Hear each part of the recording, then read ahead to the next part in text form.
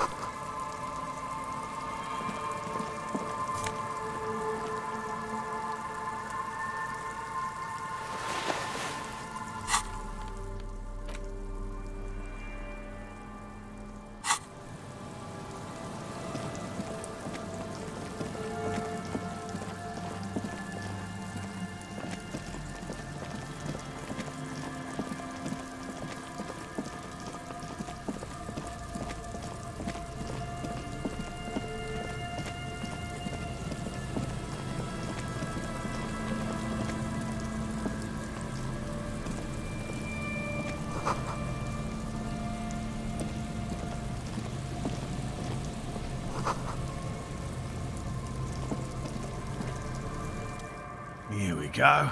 Nice and easy. No way out, little guys. Not out of this gem.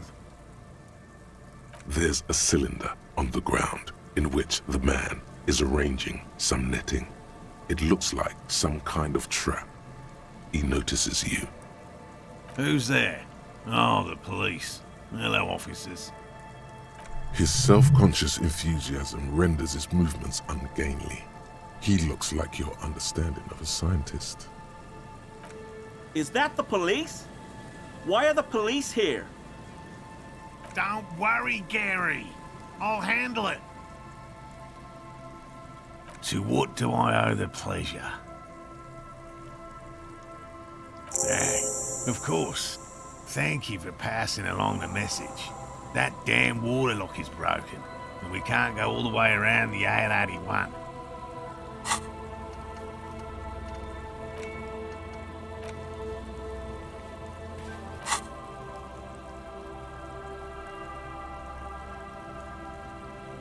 Good. We should really be getting back. Gary could use a hot shower and a warm bed. Did he say we can go back now? Yes, Gary. We can go soon. If you see Lena, tell her I won't be long. Sir, your wife is waiting for you. I just have to do one more round. See if the Phasmid has taken the bait. Then we go in. His hands are large and weather-worn, but also used to delicate, precise work. And I'm eager to return to her, I assure you. But I can't leave before we finish with these traps. My wife understands that just as well as anyone. Come on, Morell. We've been soaking out here for days. It's time to go back. And leave the traps? Absolutely not. I won't let Lena down.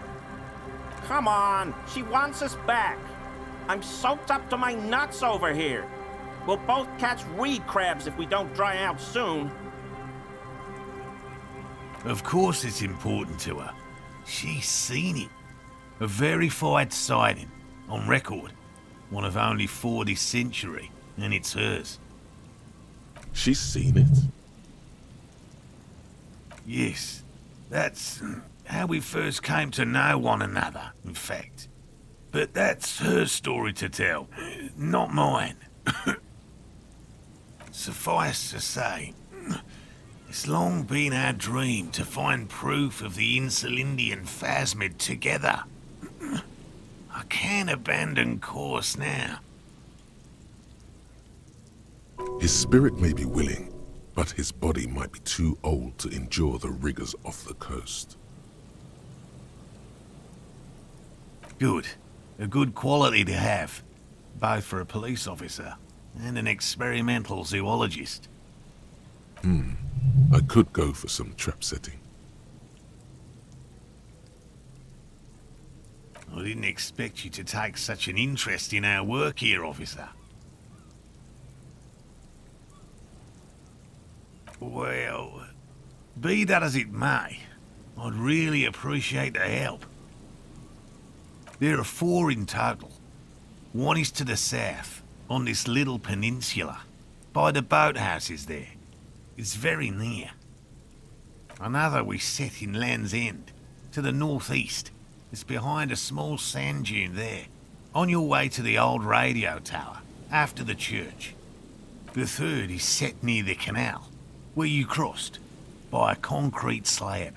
A big thicket of reeds going up the slope, and among them, you should check at least one of those before returning to this one, since I just said it.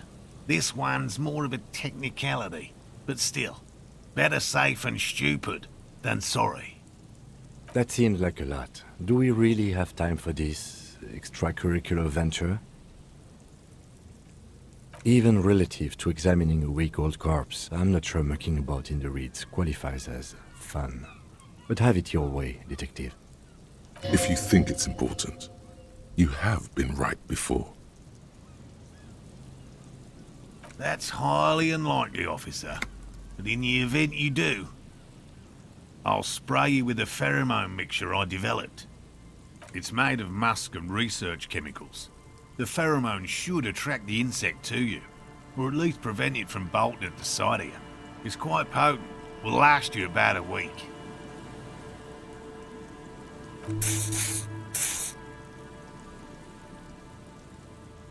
This is the smell of dying reeds, of longing crumbling into the water. I hope you're not buying this. He dispenses it without letting you touch the canister, so it would be precious like holy water. It is precious. A single dose cost me 50 real to develop. Not that I expect you to understand self-financing one's own research. Bring it to me at once. Just make sure the trap is closed tight. Right, which means you two can pack up and go back to the whirling. Finally, someone's talking sense. Thank you for your help. Gary and I will start breaking down camp. If you have any more questions, now's the time to ask. We'll be gone once you get to it. What about his eager to leave friend Gary there? Talk to him too, perhaps.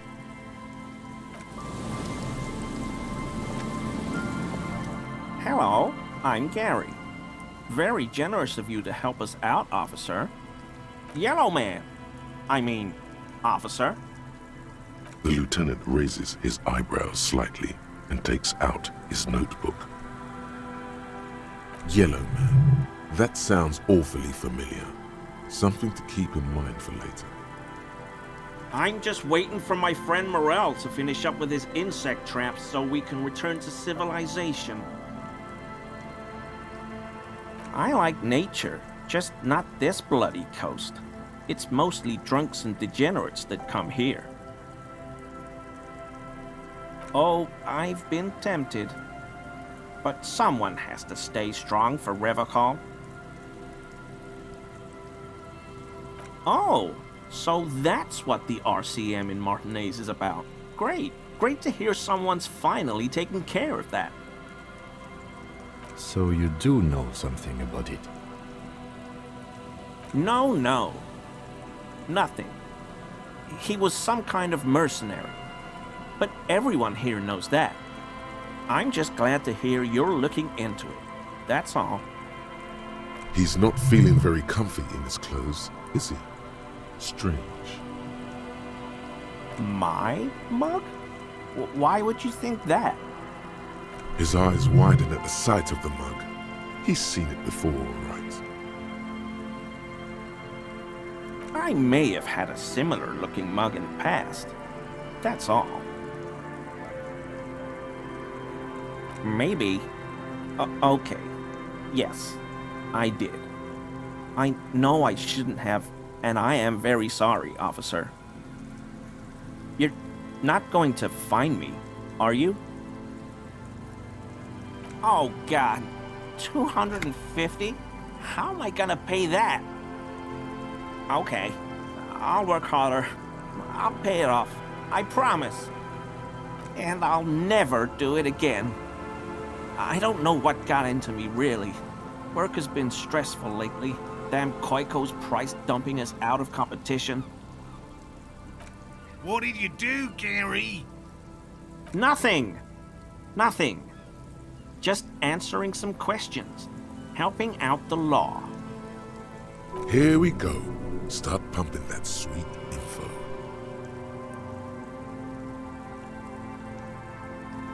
Officer, please.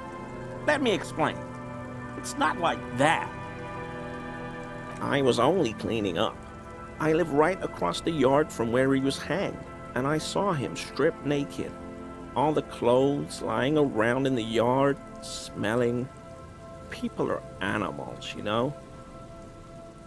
Then I came out to clean up the rags because no one else would. I put them into the whirling's trash, along with a broken mug, admittedly. Okay. I was coming to throw the mug away, and, well, I threw the mug there and the clothes too. Right. It was just civic duty. Exactly. That's exactly what it was. Civic duty. As he shifts uncomfortably, a series of clicks, like the clinking of glass beads against one another as they roll across a hardwood floor. You've heard this sound before. But where? What sound? I haven't the slightest. There's lots of weird stuff out here in the reeds, though. Insects, trash. Could be the wind shifting some garbage nearby. Every day, the wind shifts the reeds and whatever was left in them. Tambourines and condom wrappers, plastic and glass bottles. The smell of decay. The sound you heard was not the sound of something easily abandoned. Armor? No. I, I mean, yes. Of course. I know he was wearing armor, but I don't know anything about it. There's something going on here. You should observe him more closely after this topic is concluded. I know a guy who works with the trash collection services, CS Municipal. He gave me a master key for the trash containers of Martinez. So I can use the Whirling's trash compactor to store my own stuff. Garbage disposal is expensive as hell. The damn Chimeans run it like a mob. I'm sorry, okay? I thought I could cut costs. I shouldn't have. I shouldn't have disgraced myself. Disgraced? No need for the histrionic, sir. It was, after all, just a trash container. He studies his reaction. Gary doesn't answer. I hope I could help your investigation, in my small way.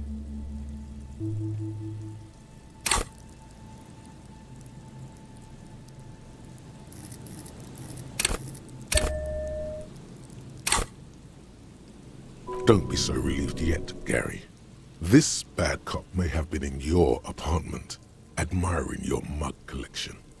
Perhaps a little intimidation? That shirt looks very uncomfortable on him. Look at the buttons, barely keeping that thing together, as if something is ready to rip out from underneath. Yes, like a piece of ceramic armor, for example. One that makes a clicking sound when the plates meet each other, resembling pearls or marbles, stolen from the corpse in the yard near where he lives. I knew you'd figure it out, officer. I'm sorry I didn't tell you at once. I was... I was ashamed of what I did. And I didn't want you to know. Gary, what's going on? Later, Morell. I've got apologizing to do. No, you've got explaining to do. He sighs again, hangs his head, and unbuttons his shirt fully. A cuirass that matches the dead man's boots comes into view. Soon it is in your hands, smelling of his sweat. But so, so light to hold, like a bag of cotton. This is it. This will protect your mortal shell. Don it and live. Everyone was picking those pieces off him, and I was watching them do it. And they'd scattered his clothes all over the yard. Everything was smelling. So I went there to take out the trash and started cleaning up. All those rags on the ground, him swinging up there, and I had a lapse of honor, sir. I thought, he's a foreigner. They all say he wasn't from here. Only the cuirass was left, so I stripped it off him. It was early in the morning. No one saw me. I took it with me. It was a mistake. Had I known it'd give you guys trouble, I... I wouldn't have... Fuck. It's okay. It was a loose end, and you are tying it up now. I'm so fucking sorry I called you Yellow Man. Seolite officers commanded the suzerain's navy. Most of them sided with the king when... It's difficult to say what the lieutenant thinks of this historic apology. His face does not belie emotions. I always thought it was the Union. Some Union hardasses lynched him because of the strike. But almost everyone in town knows that. I wish I could tell you more. Yes, absolutely. I will never do anything like this again.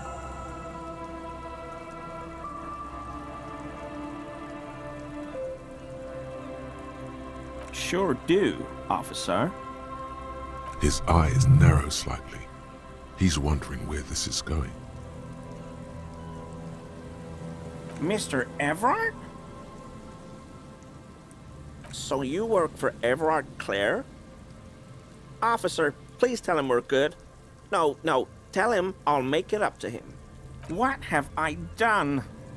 He'll send the muscle after me. As he lowers his tone, he hunches his back. What could it be about? I probably talked too loud. In the whirling. About some theories I had. Whatever it is, I'm done with it. I won't do it again. If there's anything I can do to assist you, or the Union, just ask, okay? I'll try to help if I can. This scared him proper. He's positively melting from fear. Has to prop himself up with a lot of anger to keep it together. The weather vane has turned. He cannot be unturned. He clearly liked his squirming. He may even have changed his mind about the whole door opening operation.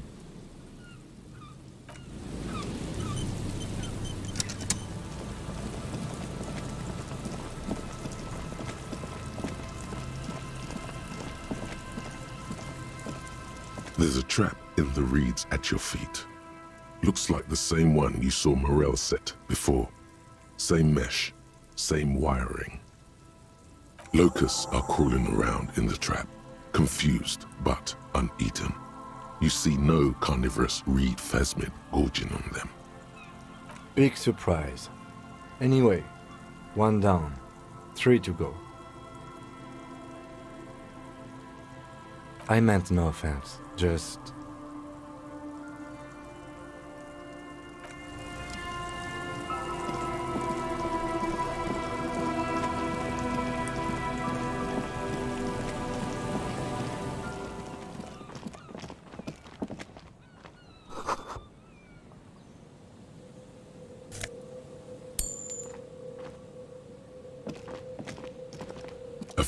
apparatus lies among the reeds.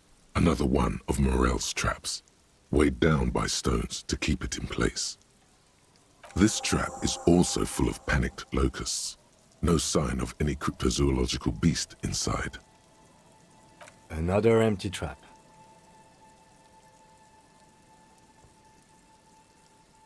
Of course. Noted.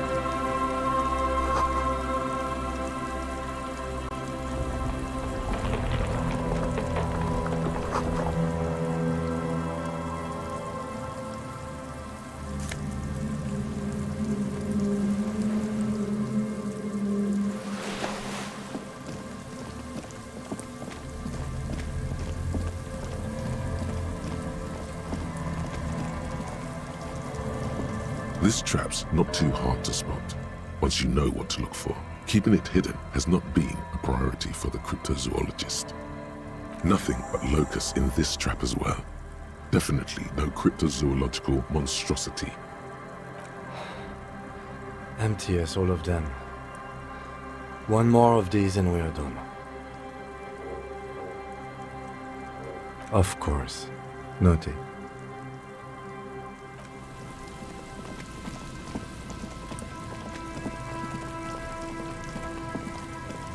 This is the last of the traps.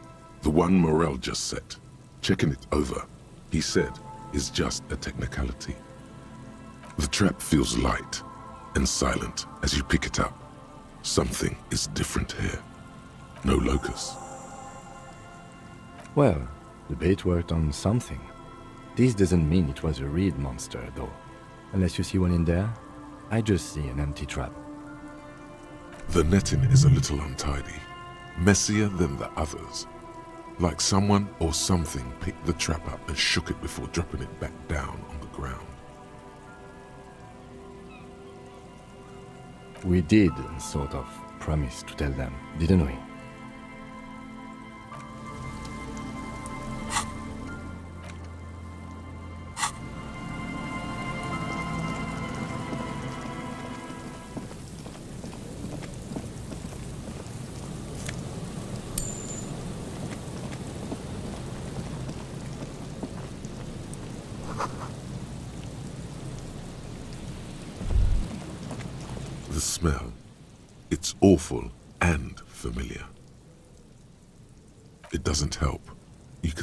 Can still smell it.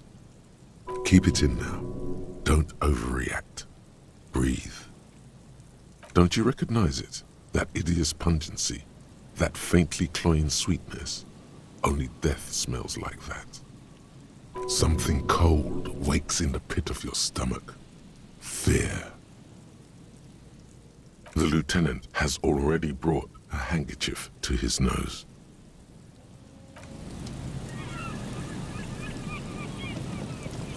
There's some tear, an empty cigarette package, and a crumpled kebab wrapper in the trash bin.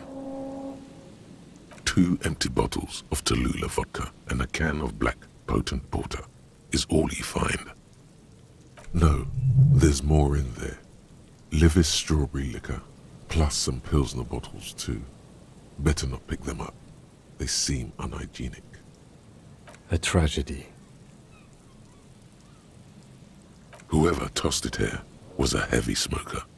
The brand name reads Red Astra. You see traces of mayonnaise and ketchup on it, as well as a tomato wedge. The wrapper reads Shish Kebab Revachol. It's hard to concentrate in the smell. The sea air brings some relief.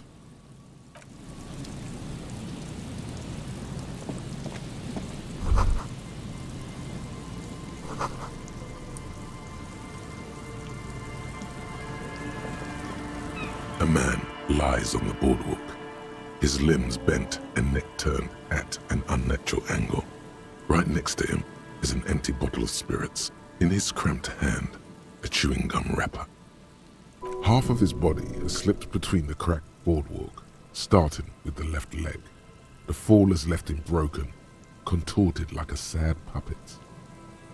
The smell is not as bad as a two-week-old corpse, but it's definitely heading there. Hold on.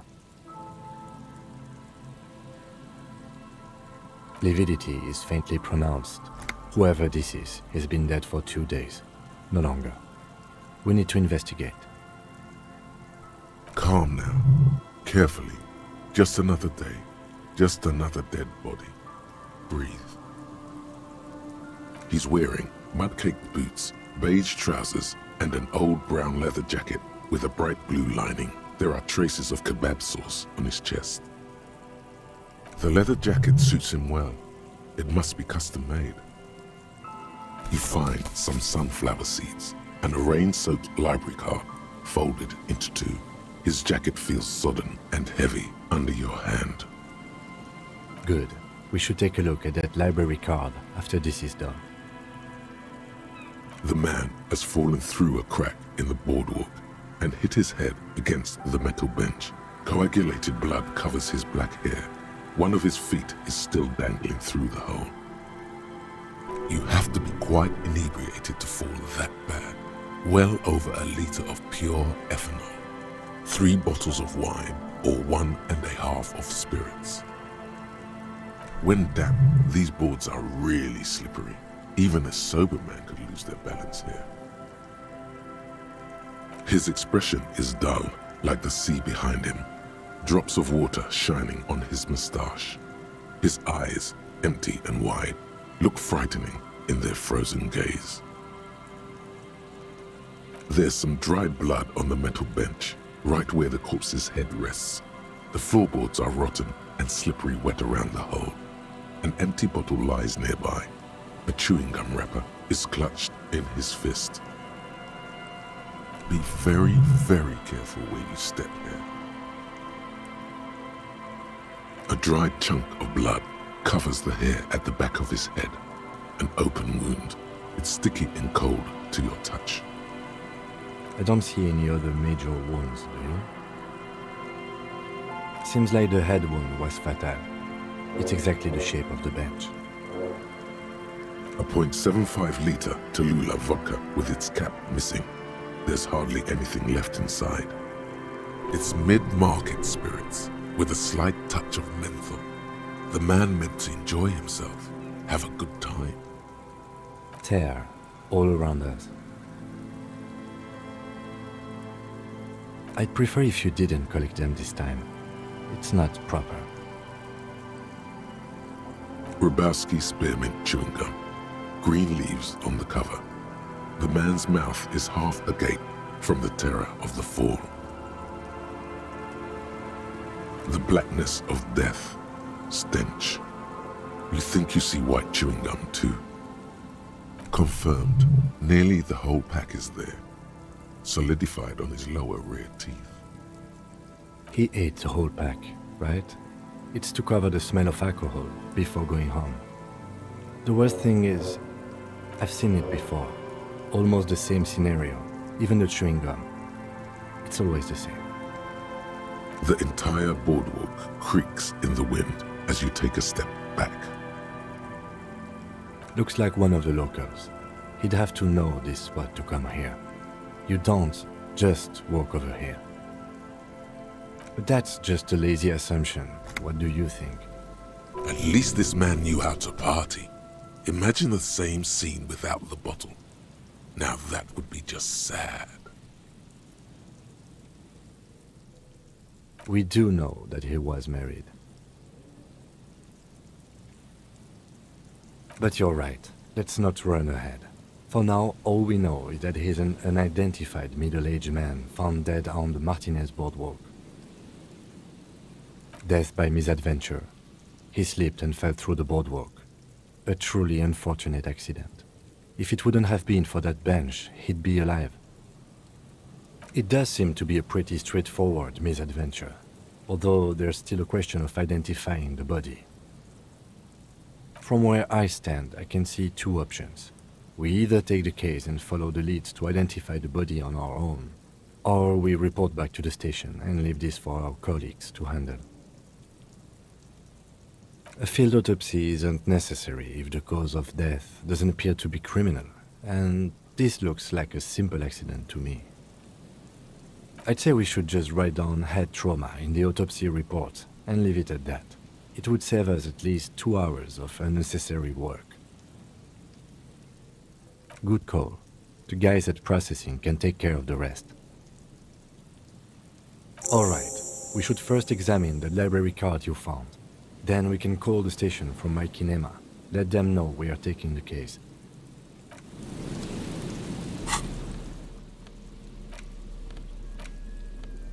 The library card is folded into two and still slightly wet to the touch.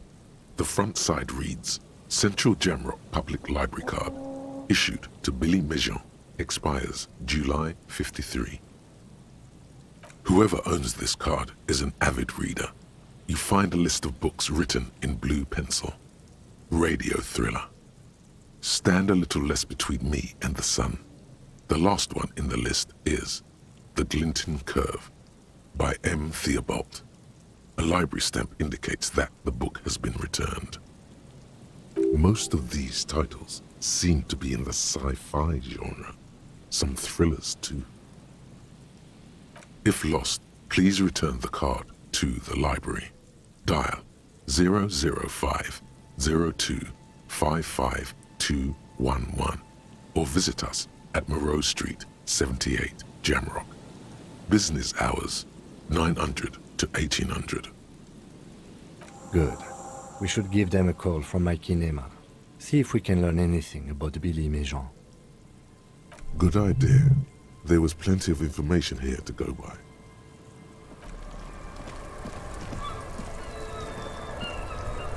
Inside, you see a set of steering levers, a radio microphone, a pull-out toolbox, and the soft glow of the fuel preheater gauge. This is Precinct 57. How may I assist you? Hold on, officer.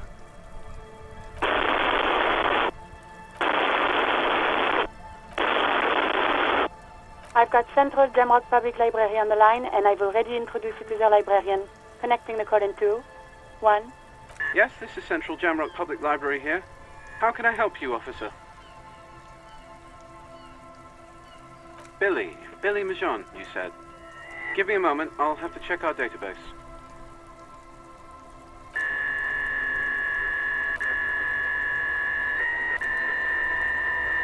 On Moreau Drive in central Jamrock, in a darkened hall lit by orange desk lamps far away from the noise outside, a middle-aged man taps commands into an old radio computer.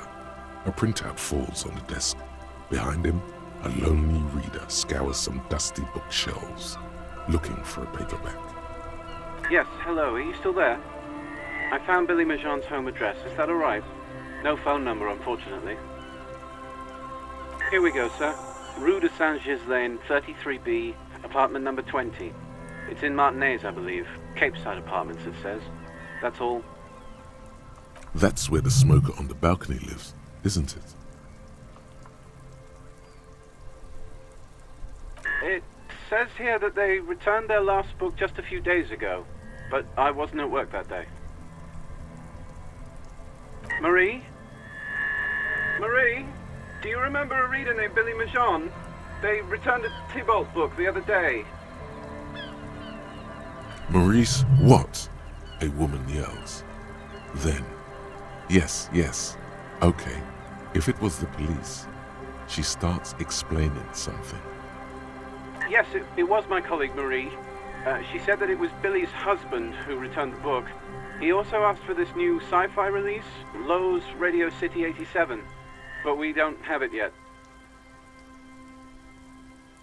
Marie knows Billy. She's been working here longer than me. Sometimes her husband returns some books for her. Sorry, no. Marie only knows him by sight. Marie?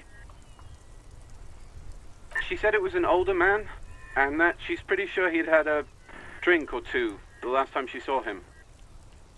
Uh, one second. What was he wearing? Sorry, Marie wasn't really paying any attention to that. Happy we could help. Goodbye, officer. Anything else you need from me? One moment. Can you please describe the body? Age, sex, cause of death? The man was about 173 centimeters tall, stout, with dark hair and a mustache. We suspect he might have been inebriated when he slept. There were bottles all around him, and traces of vomit on his shirt. Any signs of violence? No field autopsy necessary. You can hear her quickly typing in the background. What about his belongings? Did you examine his clothes? Any information on the library card? Good. You have a lead. Do you and Lieutenant Kitsuragi want to take the case, or should I assign it to someone else? I have assigned the case to Lieutenant Kim Kitsuragi. Please follow up on this library lead to identify the man. We'll send someone to take the body to the morgue. That's all for now. Thank you for reporting in. Is there anything else I can do for you? 57th, over and out. In the cabin, you see a set.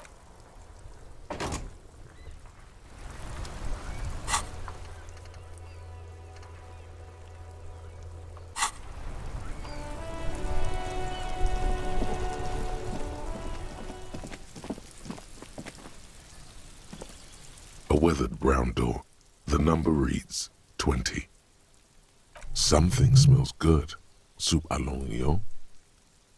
The lieutenant motions to you to go ahead and knock. You're right. Let's talk this through. You hear light footsteps passing by the door and some folk music playing on the radio. We have our first preliminary identification. In all likelihood, the deceased is the husband of Billy Méjean. We need to confirm this, as well as deliver the death notification to Billy herself. Now, delivering a death notification is never an easy task. There's a reason why it's often called the most stressful part of our job. This is why it's usually done in pairs. You got this. I'll be monitoring reactions, ready to act if necessary. Dad, just don't say that you know how they feel. You don't. Yes, it's hard. But there is no easy way to handle this information. It just has to happen, as soon as possible. The lieutenant motions towards the door.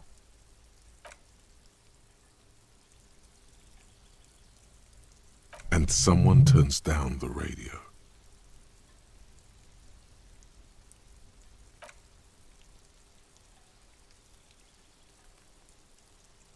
Tidying up, nervously.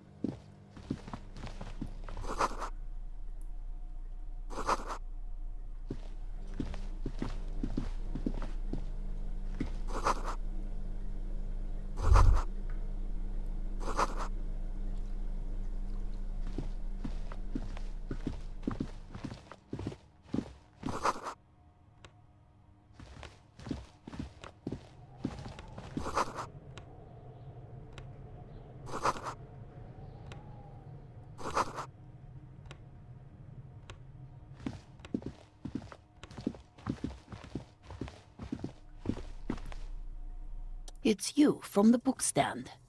Did you come to bring my cockatoo back?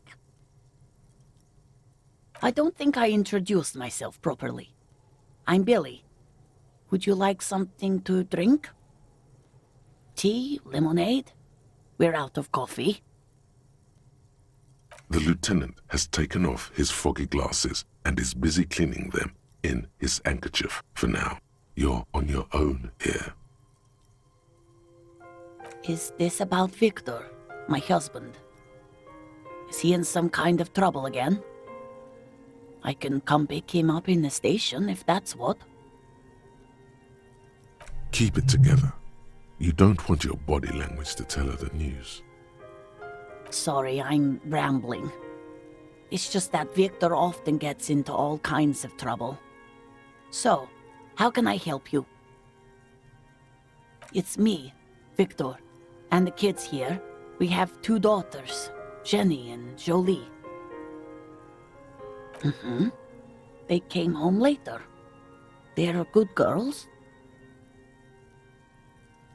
The girls are staying at their friend's place tonight. And Victor is out. She swallows visibly. He has a problem with drinking, and so he disappears every now and then. He's probably in the parks drinking with his friends. I sent him to the library a few days ago, but I guess something came up.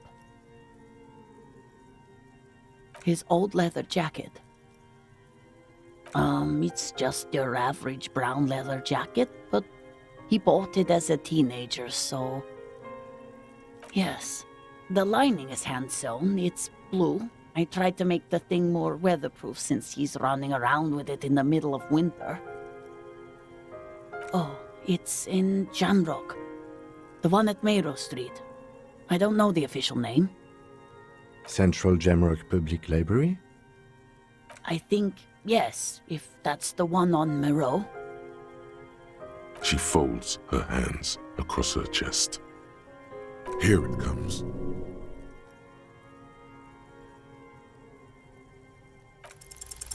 I don't want to.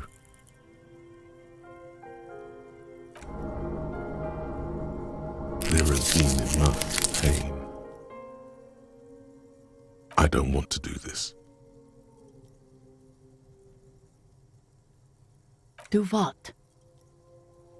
Officer, Too late. You ruined it. Just say it now. Excuse me? What? What did you say? She's in pain.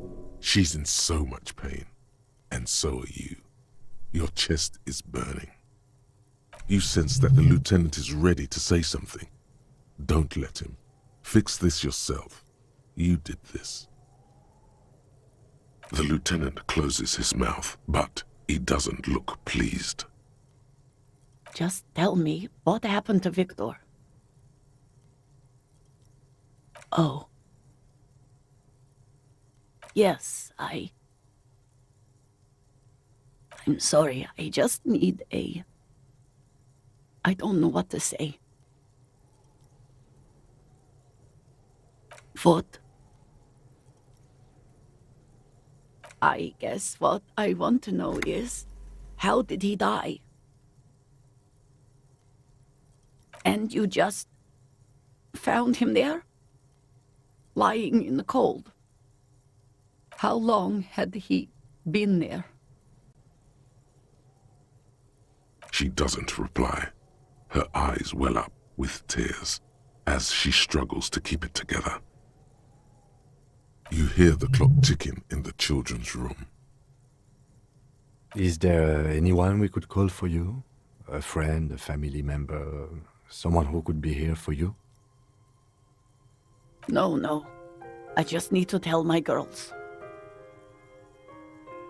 It burns like acid. God, should I call them? Should I tell them to come home? All right, I'll call them. She can't take much more. Her stomach is churning. Soon she will have to go to the bathroom and scream. Just tell me, what do I need to do next? Where is he? Can I see him? You haven't even taken him away? No, we have. He was taken to the city morgue. The local coroner will be contacting you shortly to arrange the funeral. Here's his number, in case you want to contact him earlier. Is there anything else that the RCM could do for you? No, I'll call you if something comes up. I'm still a bit.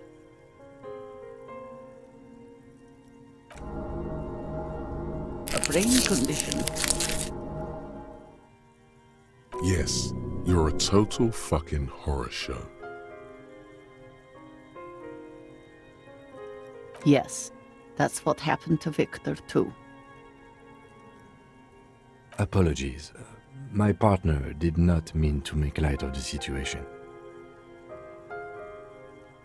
Again, if there's anything we could do for you, then don't hesitate to call the RCM, ma'am. She just nods, distant and inconsolable. The bed springs rattle beneath her as she begins to shake. These are her last reserves of strength. Her muscles will give in soon to a scream. I'll take it from here.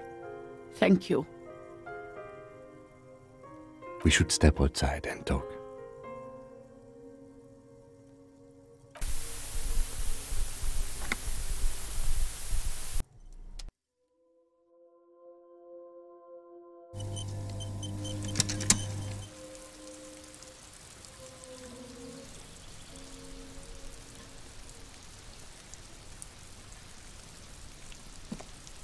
So, the death notification. Well? No, it didn't. Well, I'll call the station when we are done with the day and inform them about the identity of the deceased. But yes, that's on me. Let's get on with the murder investigation.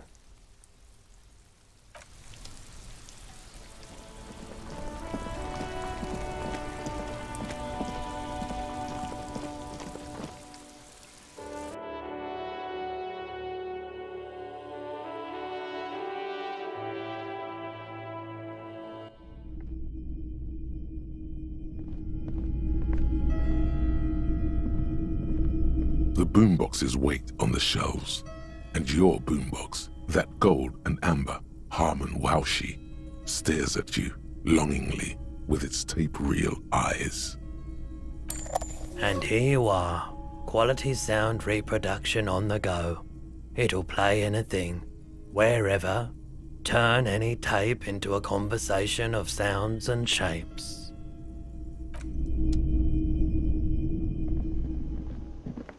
It's great to see you again, officer. My wife can't wait to thank you. Go on, talk to her.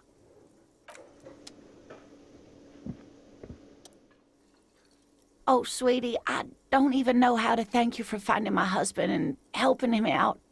I hope we haven't been too much trouble for you. Here, I want to give you a small token of my gratitude. It's a tie, Meskin origin. The pin is an antique, quite special. The little silvery knob holding the tie together feels warm in your hand. It's in the shape of an avian skull with eight eyes.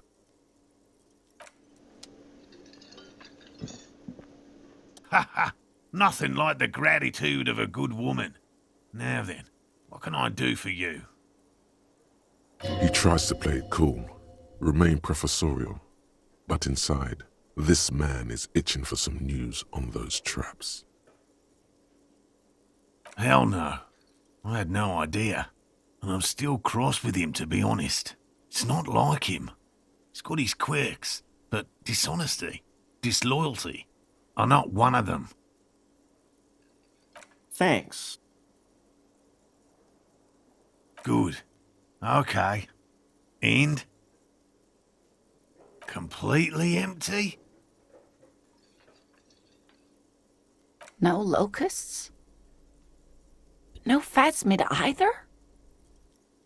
That's not ideal, but... I definitely left that one stocked. Hmm. Right from the campsite?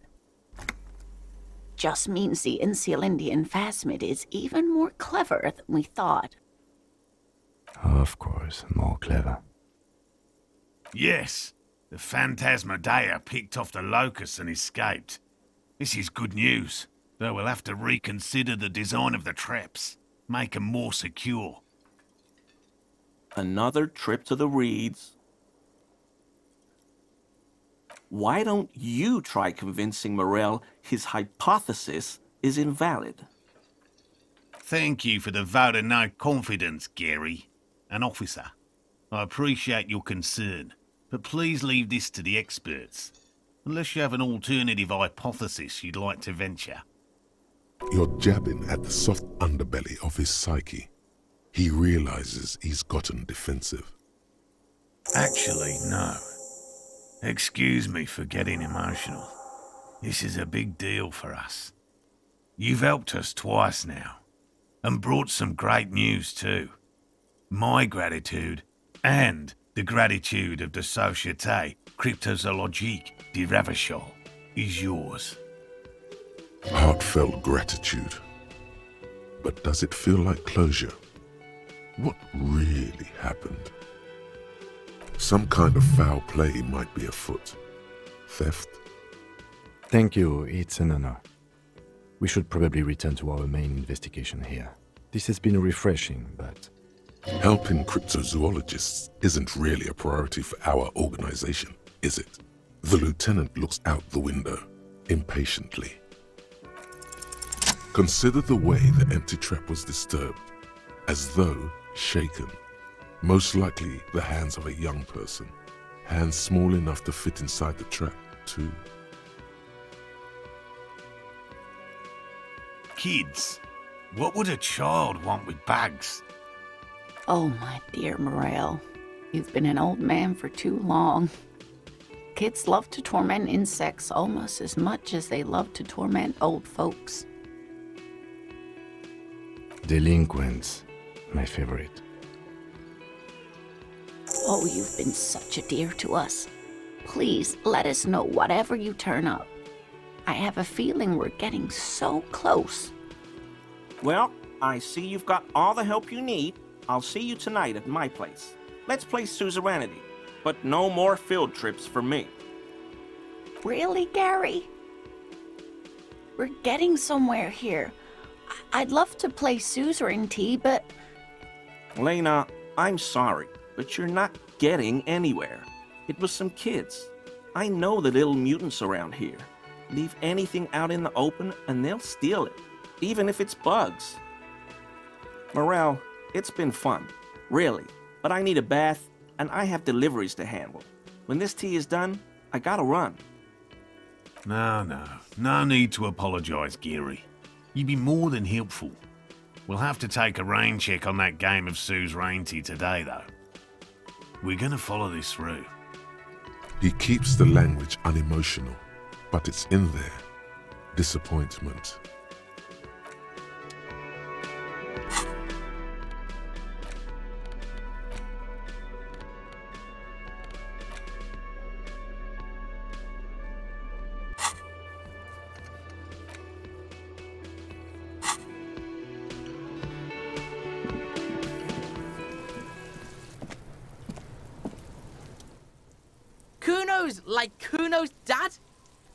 Doesn't give a fuck about anything.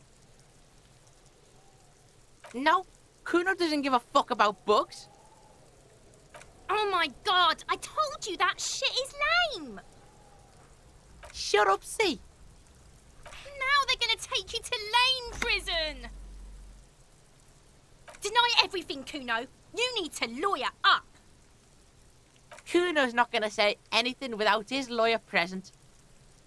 There's definitely something going on here. Remember his pig's head shack? You should check it out. Cuno doesn't fucking care.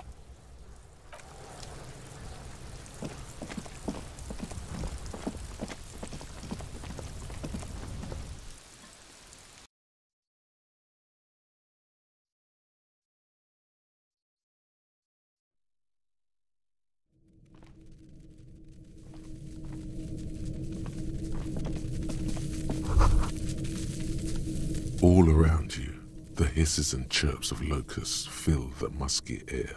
The earthen floor of the shack has been shaped into mounds of mud, dotted with little holes for windows. Well, detective, it appears you've solved the case. Of the locusts. For the missing locust case, which is a sub-case of the imaginary insect case. So at least that's going well. Oh, I'm not being sarcastic at all. We are making real progress here. I'll let you handle the Cuno side of things. You are doing just fine.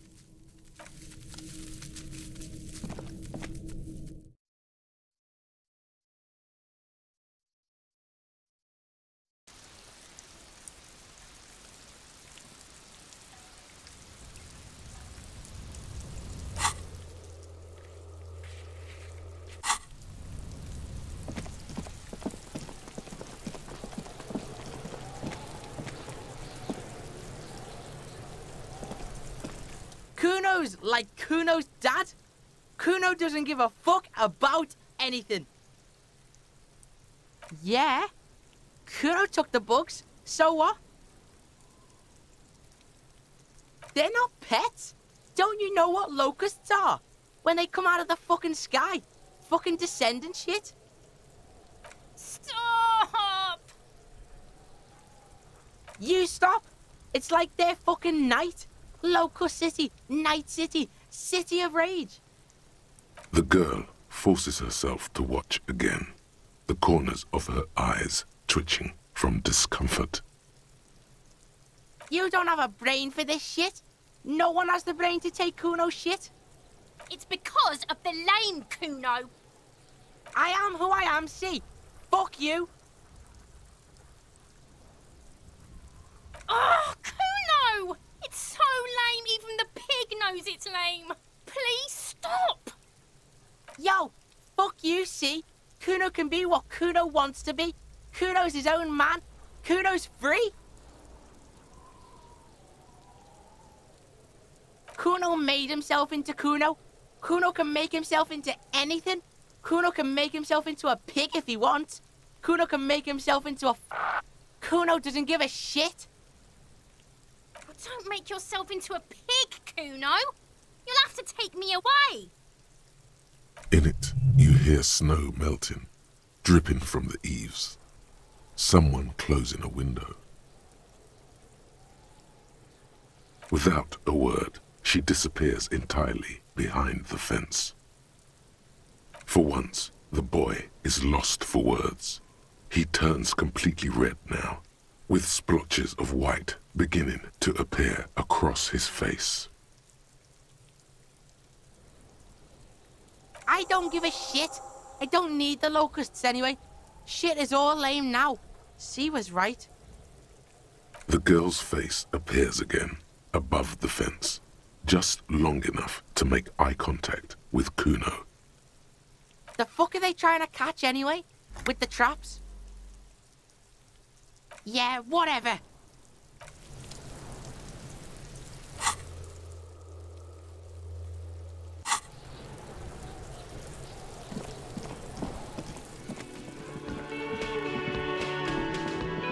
Hello, officer.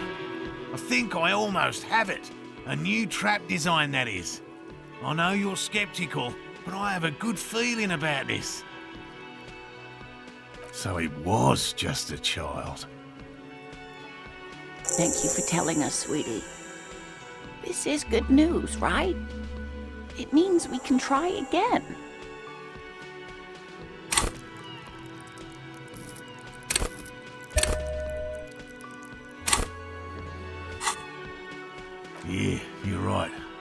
We just need to restock the empty trap.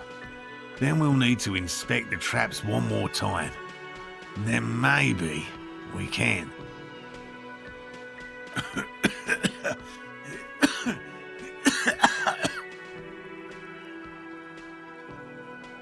He has a 38 degree fever. His resilience has given way. Darling, I told you to take it easy. You're getting sick. Maybe it's time to go home. You're right, you're right. We can come back next season when it's warmer. He's right, dear Morell. Come now, we've waited so long. What's one more season? You're right, dear. We'll get our shot yet. I'm sure of it. The slouch in his shoulders tells you otherwise. He doesn't know how many more field expeditions he has left in him.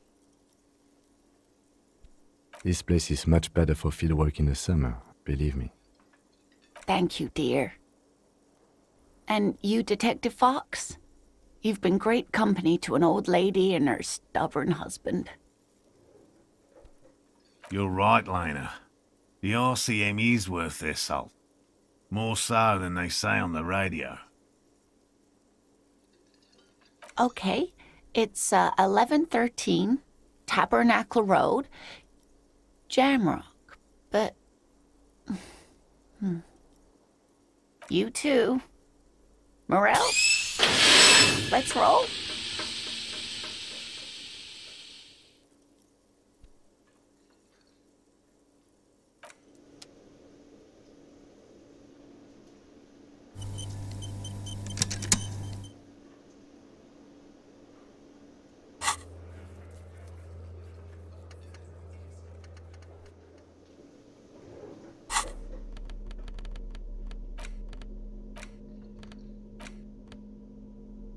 The porter reel is just what you needed. The reel's attached to the apparatus with a satisfying click. The tape is routed behind the magnetic reader. You press the large button marked Commencer, and the tape starts spinning. There's a small delay before the song starts playing. It sounds like someone's moving in the room, getting comfortable. Then the organ starts playing a simple, melancholic tune, echoing in the hallway. A lone singing voice joins in, telling you about the tiniest church in Saint-Saëns, surrounded by even tinier yard. You almost feel the seaside mist on your skin. It's mega sad. Within seconds you know, this is the one, the real shit you've been looking for. The one you trust your room to that Klaasje told you about. Perform it. A click, then silence for a bit. Then the tape stops spinning. Of course you could sing this. You could take sad to a whole new level with this. And you already know the lyrics since you've listened to it like a million times. And the B-side of the tape contains the instrumental version. It's like the world itself is telling you to do it. Only one obstacle stands on your way. Garte, you have to convince Garte to let you sing karaoke in the whirling. After you've won him over, you can express yourself. Let the pain out. Make everyone understand. The lieutenant looks at you as you remove the tape from the boombox. He doesn't say anything.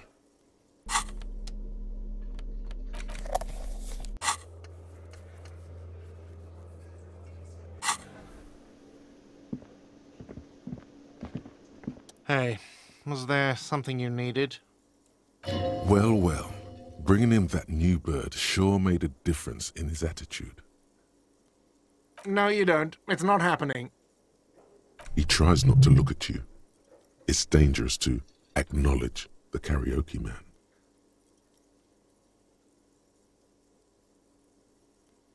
The whirling doesn't need more sad style. That's one of the styles it can do without right now. It's for the... It's for no one. It's a prop. I'm not letting anyone use it after the great karaoke catastrophe of 44. A lot of people got killed because some asshole wanted to sing karaoke. Okay, yes, it's for some clients.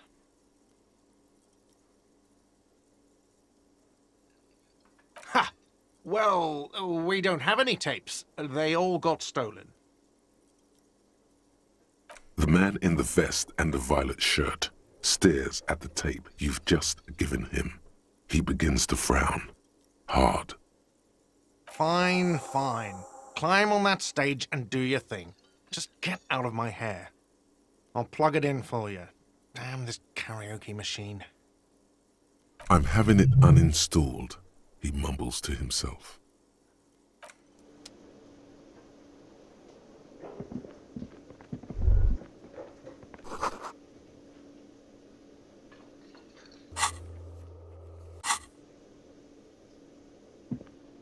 The stage is all set up for your performance. Feels silent. You can hear the pellets creak under your feet. You feel a little dizzy, a little unsteady suddenly. So, uh, are you ready for your thing now? Let me know when I should turn on the karaoke carousel. I can see that. Immediately, a loud feedback noise startles the room. You feel like an amateur. How are you supposed to hold the mic? Should you just sing into it? Where should you stand? Hands. Where do you put your hands? There are some people out there, but mostly a post-meridian slumber has fallen on the premise, not super lively. It would be wiser to perform in the evening, no? But the choice is yours. Yes, you could always do it in the evening. It will be less scary with a lot of people.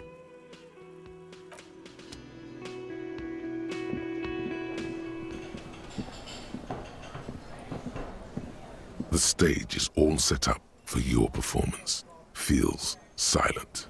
You can hear the pellets creak under your feet. You feel a little dizzy, a little unsteady suddenly. So, uh, are you ready for your thing now? Let me know when I should turn on the karaoke carousel. Immediately, a hands. Where do you... The bar is full and buzzing with chatter. No one is paying you any attention. But still you feel your knees turn to noodles. Okay, now a couple is looking at you. Even worse, you're sweating. Just make sure you move, okay? Don't be stiff. The air is thick with anticipation. Someone dims the lights as the music starts. A lump's in your throat suddenly.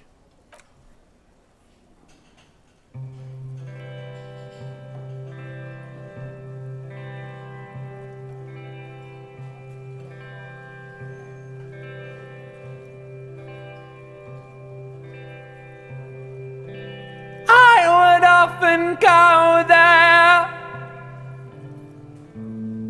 to the tiny church there.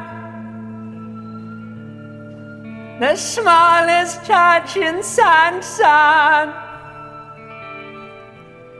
Though it once was larger. How the real may rest there. Down through the mist there towards the seven sisters. Towards those pale cliffs there. I would often stay there. In the tiny yacht there I have been so glad here, looking forward to the past year. But now you're all alone. None of this matters.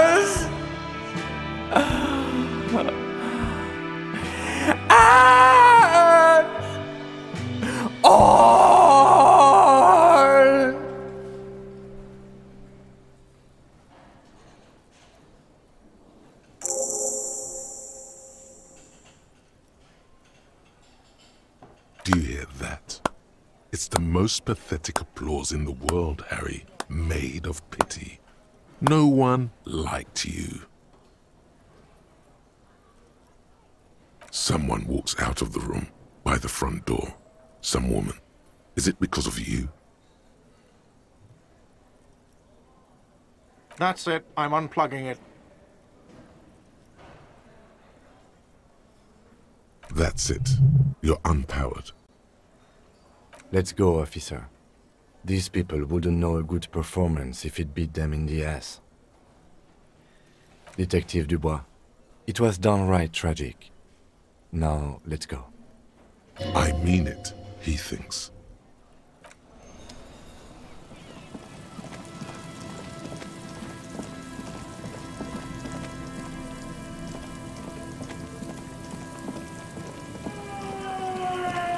Put your hands where I can see them.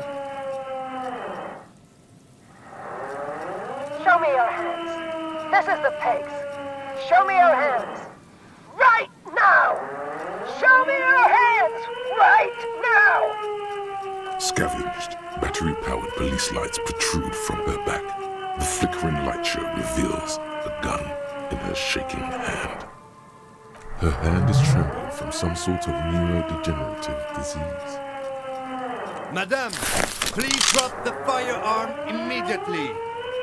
You shouldn't be here. Something's very wrong with her. She's completely out of control. This is bad. Getting a weapon back is the priority. We can't have an unhinged civilian running around with a gun. Comply, or I will light you the fuck up! Failure to comply. Suspect is displaying aggression. Officer, under duress! Officer, under duress! Her eyes bulge with terror. Veins protrude on her forehead. I am the police. Don't move. Don't move. Hands on your head. Suspect is armed and dangerous. Suspect is on the loose. Suspect at large. Officer, administer street justice at our own peril. That one extra lick with a baton or extra knee strike above was what was actually required. Suspect is under control. Suspect is under control. Be careful, detective. Don't do anything that might set her off. The situation looks bad. Calm yourself. Steady your breathing. This is dangerous. You're 70% certain you always leave your gun loaded. Alright, this is how we do it. You hurl the tear bag in her face, already darting right, and immediately close the distance. Left hand grabs the barrel, right one breaks the wrist. A drop of sweat runs down your nose, and in it you see the Martinaise Inlet, wrapped in the night. In the abandoned fish market, three figures standing in a spectacular light show. A large, loud woman is pointing an empty firearm at the other two. She doesn't want to listen, or even to be heard. What? This isn't police issue. Police weapons have bullets. This isn't real. What is this? Police guns always have bullets. What is this? Why did you sell me this? Grab the gun, right now. This might be your only chance. No one ever cares anymore.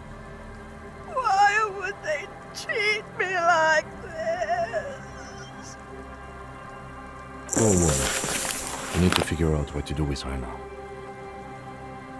Nobody's ever around. Nobody ever comes to visit me.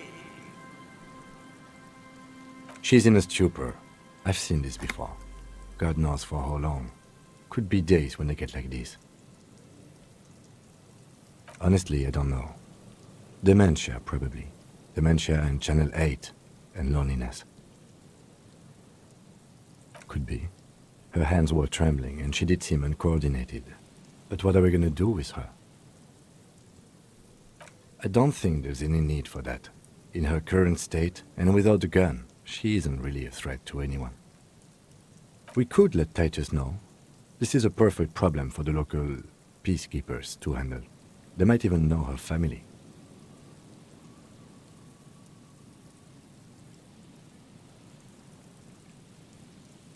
Then we can ask him once we get back to the whirling.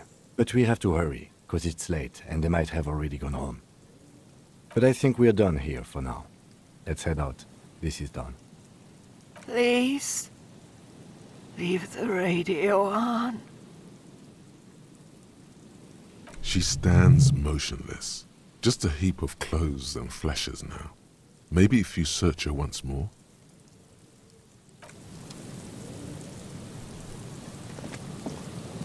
The woman stands slumped. She looks catatonic under her mountain of RCM paraphernalia. Is one of those things a police cap? She doesn't even flinch as you reach out and disentangle the familiar-looking lieutenant's cap from her mountain of RCM paraphernalia. Oh, is that yours? It's hard to say. It's been so long since you wore yours. It's your hat. The old woman doesn't react to your touch.